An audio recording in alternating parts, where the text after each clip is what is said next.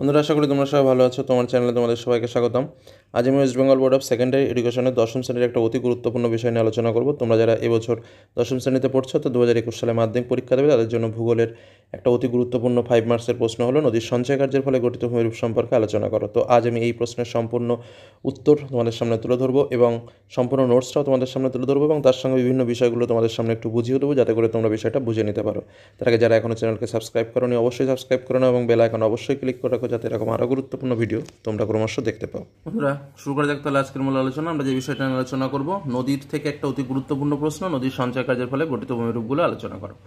তো এর আগে আমি তোমাদের নদীর ক্ষয়কার্যের ফলে গঠিত ভূমিরূপ এবং নদী চ্যাপ্টার বিভিন্ন শর্ট টাইপের কোশ্চেন বিভিন্ন জিনিস তোমাদের সামনে তুলে ধরেছি এবং বিভিন্ন বিষয়গুলোও তোমাদের সামনে বুঝিয়েও দিয়েছি। তো আজ আমরা ঠিক সেই একইভাবে সঞ্চয় কার্যের ফলে গঠিত ভূমিরূপের সম্পূর্ণ নোটস এবং কি কি পয়েন্টসগুলো তোমাদের আসতে পারে তার সম্পূর্ণ বিস্তারিত আলোচনা করব। দেখো, এই প্রশ্নটাকে ঘুরিয়ে তোমাদের অন্যভাবে আসতে পারে যে, নদীর নিম্ন প্রবাহে গঠিত তিনটি ভূমিরূপ আলোচনা করো, সেটাও কিন্তু আসতে পারে। এছাড়াও এই যে আমরা সঞ্চয় কার্যের ফলে গঠিত ভূমিরূপগুলো পড়ব এর ভেতরে যে পয়েন্টগুলো রয়েছে, যেমন ধরো প্লাবনভূমি অশ্বকরাকৃতি হ্রদ, এই পয়েন্টগুলোর মধ্যে কিন্তু আলাদা আলাদাভাবে টিকাও কিন্তু আসতে পারে।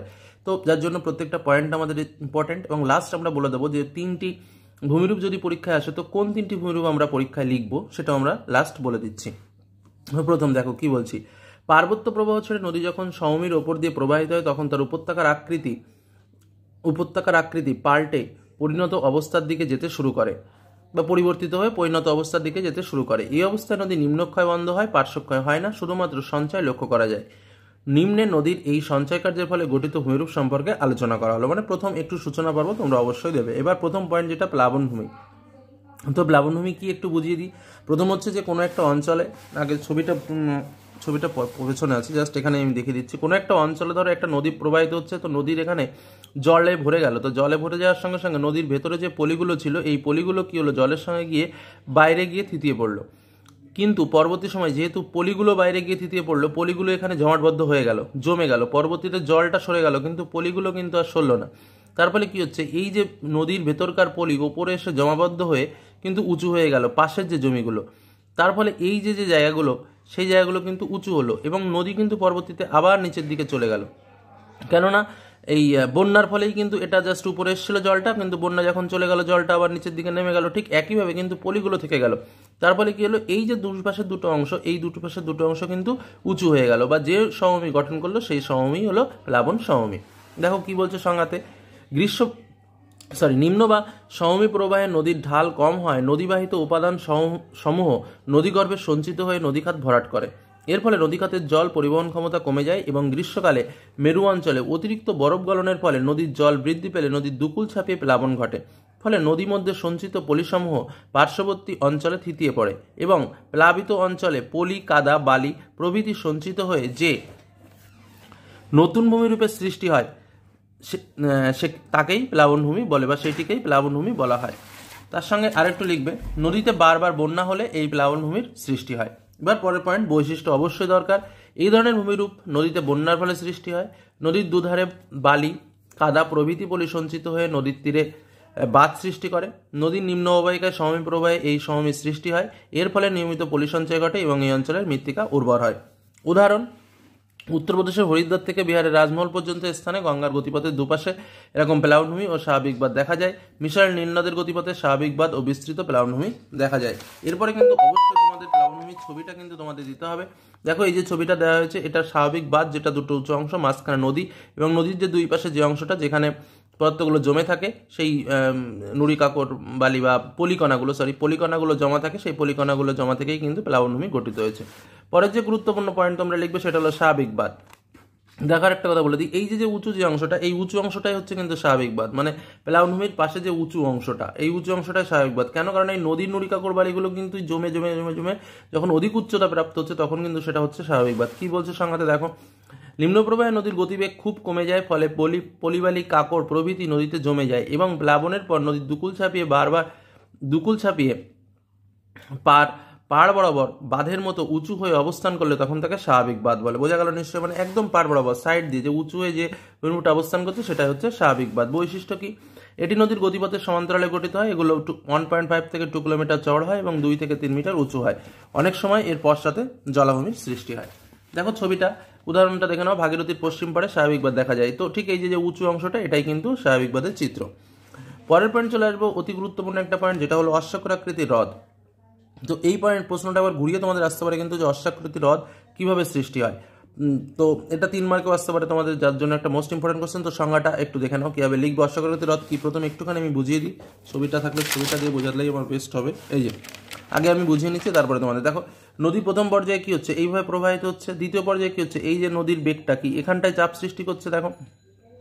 তাহলে কি হচ্ছে? একদিকে ক্ষয় হচ্ছে। দেখো, দ্বিতীয় পর্যায়ে নদী, এই যে বাঘটা, তাহলে কি এই জায়গাটায় বেশি ক্ষয় হচ্ছে? ফলে বাঘটা কি হচ্ছে? বেড়ে যাচ্ছে। তৃতীয় পর্যায়ে কি? এই দিকটা বেড়ে যাচ্ছে। তাহলে কি? প্রথমে এই দিকে বাড়ছে, এই দিকে বাড়ছে। আবার দেখো, এই দিকে বাড়ছে। বাড়তে বাড়তে কি হচ্ছে? নদী এই দিকে সরে যাচ্ছে এবং এই দিকে বাড়ছে। পরবর্তী পর্যায়ে কিছু দেখো, এই অংশটা কেটে যাচ্ছে, কেটে এই সাইডে রয়ে যাচ্ছে এবং নদী আবার সোজাসুজি প্রবাহিত হচ্ছে। তো এই যে ফিচারটা দেখতে কেমন লাগছে? এটাকে দেখতে অশ্বের খুরাকের আকৃতি, যার জন্য কিন্তু বলা হচ্ছে অশ্বকর আকৃতি হ্রদ এই যে চারটে স্টেপ এই চারটে স্টেপে কিন্তু আমাকে বর্ণনা করতে হবে। যদি সৃষ্টির কারণ পরীক্ষায় আসে। যদি এমনি লিখতে হয়, তাহলে নর্মাল অশ্বকরাকৃতি হ্রদ কাকে বলে? তারপরে বৈশিষ্ট্য নর্মাল পয়েন্টে দেখো, সংজ্ঞা কি লিখব? পার্বত্য অঞ্চলে প্রবাহের পর নদী নদী ধীরে ধীরে সম্পূর্ণ সমতলে পৌঁছালে পর্যাপ্ত ভূমির ঢালের অভাবে ক্ষয় ক্ষমতা কমে যায়। ফলে নদীর গতিপথে পলিসঞ্চিত হয়ে জলস্রোতে বাধার সৃষ্টি হয়। ফলে নদী গতিপথে ক্রমশ অসংখ্য বাক্যের সৃষ্টি হয়। পরবর্তীতে নদী কোনো দীর্ঘ বাঁক পরিত্যাগ করে নদী আবার সোজাপথে প্রবাহিত হয়ে অশ্বের খুরের ন্যায় আকৃতি বিশিষ্ট এই ধরনের বাঁক পরবর্তীতে নদীকার থেকে বিচ্ছিন্ন হয়, যেগুলোকে অশ্বাক্ষর আকৃতি হ্রদ বলে। মানে টোটাল ফিচারটা কিন্তু সংজ্ঞার ভেতরে দেওয়া রয়েছে। অনেকে সংজ্ঞাতে লিখে দাও, অশ্বের খুরের মতো আকৃতি বিশিষ্ট। ভূমিরূপ আকৃতি, হ্রদ বলে। এসব হচ্ছে ফাঁকিঝুঁকি কথাবার্তা। এবার দেখো, এই সৃষ্টির কারণটা আমি তোমাদের দিয়ে দিচ্ছি, কারণ তিন মার্কের জন্য কিন্তু আসতে পারে অশ্বাকৃতি হ্রদ সৃষ্টির কারণ কি, তখন কিন্তু এই পয়েন্টগুলো তোমাকে লিখতে হবে। প্রথমত, মোহনার কাছে নদী নিম্নগতিতে নদী স্রোতের বেগ কমে আসায় সঞ্চয় কার্য প্রাধান্য পায়। এই অবস্থায় নদী খাতের সঞ্চয়ে বিশাল চড়ার সৃষ্টি হয় এবং নদী অসম্ভব আঁকাবাঁকা পথে এগিয়ে চলে। সমুদ্রের কাছাকাছি নদী নিম্নগতিতে নদী বাঁক বেশি হলে অনেক সময় স্রোতের বেগে নদীবাঁকের একটা অংশ হঠাৎ নদী থেকে বিচ্ছিন্ন হয়ে নদী পাশে অশ্বাকৃতি হ্রদের সৃষ্টি করে। দ্বিতীয়ত, এই বিচ্ছিন্ন অংশের সাথে প্রথম দিকে নদীর সম্পর্ক থাকে এবং বন্যার সময় এই হ্রদে নদীর জল প্রবেশ করে। কিন্তু সময়ের সঙ্গে সঙ্গে এই হ্রদ নদী থেকে সম্পূর্ণ আলাদা হয়ে ঘোড়ার খুঁড়ের মতো আঁকাবাঁকাভাবে অবস্থান করে, তখন একে অশ্বাকৃতি হ্রদ বলা হয়। তৃতীয়ত, এছাড়াও নদীর নিম্ন গতিতে নদীর বাঁকা অতিরিক্ত নদীর বাঁক অতিরিক্ত বৃদ্ধি পেলে অনেক সময় দুটো নদীর বাঁক নিজেদের অনেক কাছাকাছি চলে আসে। এই অবস্থায় বাঘ দুটির মধ্যবর্তী অংশ ক্রমাগত ক্ষয় পেতে থাকলে বাঘ দুটি জুড়ে যায় এবং নদীটি সোজা পথে বয়ে চলে। ক্ষয়প্রাপ্ত বাঁকা অংশটি তখন নদী থেকে ঘোড়ার খুরের আকারে বিচ্ছিন্ন হয়ে হ্রদের আকার ধারণ করে। তিনটে প্রক্রিয়ায় যেটা গঠিত হয়, সেই প্রক্রিয়া তিনটের বর্ণনা দেওয়া হয়েছে। এবার পয়েন্ট বৈশিষ্ট্য। দেখো, যদি শুধু ভূমিরূপটা আসে তখন এই কিন্তু এই সৃষ্টি কারণটা তোমাদের লেখার দরকার নেই। এটা জাস্ট যদি আলাদাভাবে প্রশ্ন আসে যে অশ্বকরতেরা সৃষ্টির কারণ কি, তখন কিন্তু এই পয়েন্টটা দেবে। বৈশিষ্ট্য, কি বলব? অবতল পাট্টিতে খড় এবং উত্তল পাট্টিতে সঞ্চয়ের ফলে নদী বাঘ বৃদ্ধি পায়। বাঘের মধ্যবর্তী স্থান সংকীর্ণ হয়ে অবশ্যই লুপ্ত হয় এবং নদী সোজাপথে প্রবাহিত হয় এবং নদী নিম্নগরিতে এটি সৃষ্টি হয়। উদাহরণ বলে পয়েন্ট করবে। কি লিখবে? বঙ্গোপসাগরের কাছে গঙ্গা নদীর নিম্ন গতিতে অশ্বক্রাকৃতি হ্রদ দেখা যায়, ইয়াংসিকিয়াং নদীর বদ্বীপ প্রবাহে অশ্বক্রাকৃতি হ্রদ দেখা যায়। এবার দেখো যে ছবিটা তোমাদের ফার্স্টে দেখালাম, ওই ছবিটা কিন্তু মাস্ট তোমাদের দিতেই হবে, এটা ছাড়া কিন্তু কোনো অপশান নেই। চলে যাব তার পরের গুরুত্বপূর্ণ অপশান যেটা হচ্ছে বদ্বীপ। তো বলেই দিই যে কোন কোন তিনটে পয়েন্ট অবশ্যই লিখবে তোমরা। প্রথম যে পয়েন্টটা আমরা বললাম, সেই পয়েন্টটা অবশ্যই লিখবে সঞ্চয় কার্যের ফলে। নদীর সঞ্চয় কার্যের ফলে প্রথম যেটা স্বাভাবিক বাদ এবং প্লাবনভূমি, প্রথম প্লাবনভূমিটা অবশ্যই লিখবে। প্লাবনভূমি লেখার পর তোমরা অশ্বকৃতি হ্রদ লিখতে পারো বা স্বাভাবিক বাদও লিখতে পারো এবং বদ্বীপ মাস্ট এই তিনটে চেষ্টা করবে। বদ্বীপ প্লাবনভূমি অশ্বকৃতি হ্রদ লেখার চেষ্টা করো সময় তো এবার দেখো বদ্বীপ চলে আসলাম। তো বদ্বীপকে একদম নিম্নগতিতে যখন চারিদিকে এসে যে, নদী যখন নিম্নগরিতে আসছে, আগে ছবিটা দেখে নাও। নদী যখন একদম নিম্নগতিতে আসছে, তখন কি হচ্ছে? নদী আর জল বইতে পারে না, তখন কি হচ্ছে? যেখানে সেখানে পলিগুলো সঞ্চয় করে দিচ্ছে এবং ছোট ছোট ছোট ছোট দ্বীপের মতো সৃষ্টি হচ্ছে। এই দ্বীপগুলো দেখতে মাত্রাহীন বয়ের মতো বলে একে বলা হয় বদ্বীপ। তো দেখো কি সংজ্ঞাতে কি লিখবে? নিম্নগতিতে সমভূমির ওপর দিয়ে প্রবাহিত হওয়ার সময় নদীর গতিপথের ঢাল একেবারে কমে যায়, ফলে নদীগর্ভ, হ্রদ বা সাগর সঙ্গমে বা নদী মোহনার বিভিন্ন ধরনের বালি, পলি, কাদা প্রভৃতি পদার্থসমূহ নদীর বস্তুভার কমানোর জন্য সঞ্চিত হয়। ফলে মোহনার কাছে পলি বালি নুড়ি সংঘবদ্ধ হয়ে মাত্রাহীন ডেল্টা আকৃতির বা গ্রিক অক্ষর ডেল্টা, এই যে যে চিহ্নটা তোমরা দেখতে পাচ্ছ, মতো হয়।